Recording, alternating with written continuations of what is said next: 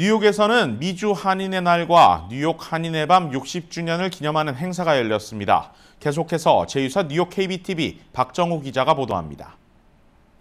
어제 기금모금 연례만찬에서는 미주 한인의 날을 맞아 축하 메시지가 줄을 이뤘습니다. 문재인 대통령은 캘리포니아주가 한글날을 기념하고 북미 이산가족 상봉법안이 미 외교위원회에서 통과된 데는 한인 동포들의 노력이 있었기 때문이라며 한인 동포들은 대한민국의 자랑이라는 소감을 전했습니다. 그 외에도 그레이스 멩 연방의원, 피터 구 뉴욕 시의원이 축하 메시지를 전했습니다. 이번 갈라는 2세들을 적극 합류시켜 한인 사회를 이끌어가겠다는 찰스윤 뉴욕 한인 회장의 포부에 걸맞게 많은 2세들이 참석해 눈길을 끌었습니다. 시상식에서는 올해를 빛낸 한인들에게 수상의 기쁨을 전했습니다.